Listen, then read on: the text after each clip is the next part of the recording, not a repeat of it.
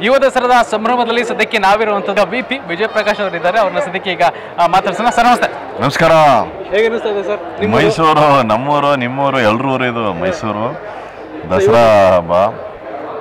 ಇದು ಯಾವ ಪ್ರತಿ ಸಾರಿ ವಿಶೇಷನೇ ಅದು. ದಸರಾಗೆ ಬರೋದು ಅದು ನಮ್ಮ ಮೈಸೂರಿನ ಜನತೆ ಮುಂದೆ ಹಾಡೋದು ನನ್ನ ಸೌಭಾಗ್ಯ. ಯಾಕೆಂದರೆ ಇದೇ ಬೀದಿಗಳಲ್ಲಿ ಆಟ ಆಡ್ಕೊಂಡು ಬೆಳೆದಿರೋನು ನಾನು. ನಮ್ಮನ್ನು ಕೇಳೋಕ್ಕೆ ಒಂದಷ್ಟು ಹೃದಯಗಳು ಬರುತ್ತವೆ. ಇವತ್ತಂತೂ ವಿಶೇಷವಾಗಿ ಅಪ್ಪು ಸಾರ್ ಅಭಿಮಾನಿಗಳು ನೋಡಿ ಹಿಂಗೆಲ್ಲ ಅಭಿಮಾನಿಗಳು ಇವತ್ತು ಅನೇಕ ಮಂದಿ ಇಲ್ಲಿ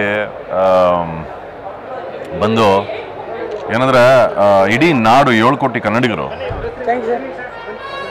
ಪ್ರತಿನಿತ್ಯ ಪ್ರತಿನಿತ್ಯ ಒಬ್ಬರನ್ನ ನೆನೆಸ್ಕೊತಾ ಇದ್ದಾರೆ ಅಂದ್ರೆ ಅದು ಅಪ್ಪು ಸರ್. ಏಳು ಕೋಟಿ ಕನ್ನಡಿಗರು. ನಾನು ನನಗೆ ಅರಿವಿಲ್ಲದೆ ಪ್ರತಿನಿತ್ಯ ಅವ್ರು ಯಾವುದೋ ಹಾಡಾಗಲಿ, ಅವ್ರು ಯಾವುದೋ ವಿಷಯವಾಗಲಿ, ಅವ್ರ ನೆನಪಾಗಲಿ, ಅದರೊಂದಿಗೆ ಜೀವಿಸ್ತಾ ಇರ್ತೀನಿ.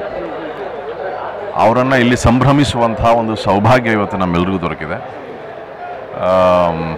ಹಾಗಾಗಿ ಭಾಳ ವಿಶೇಷ. ಅಪ್ಪು ಸರ್ ಬಗ್ಗೆ ಇವತ್ತು ನಾವು ಕಾರ್ಯಕ್ರಮ ಮೈಸೂರಲ್ಲಿ ಮಾಡೋದು. ಮೈಸೂರಿನ ಜನತೆ ಭಾಳ ಪ್ರೀತಿಯಿಂದ ಇಲ್ಲಿ ಬಂದು ಅಪ್ಪು ಸರ್ ಹಾಡುಗಳನ್ನು ಕೇಳಿ ನಮ್ಮೆಲ್ರಿಗೂ ಆಶೀರ್ವದಿಸಲಿ.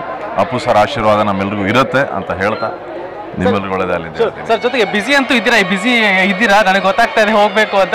ಏನಿಲ್ಲ ನಾನು. ಹೋಗ್ಬೇಕಷ್ಟೇ. ಹೋಗ್ಬೇಕು ಆಕ್ಚುಲಿ ಹಾಗಾಗಿ ಒಂದು ಎರಡೆರಡು ಲೈನ್ ಸರ್ ಎರಡೆರಡು ಲೈನ್ ಜಾಸ್ತಿ ಕೇಳಲ್ಲ ಒಂದು ಎರಡು ಲೈನ್ ಸಾಂಗ್ ಹಾಡ್ಬಿಟ್ರೆ ಸೊ ನನ್ನ ರಿಕ್ವೆಸ್ಟ್ ಮುಂದೆ ಹೇಳುತ್ತೈತೆ ಮತ್ತೆ ಹೇಳುತ್ತೈತೆ Neene Rajakumara.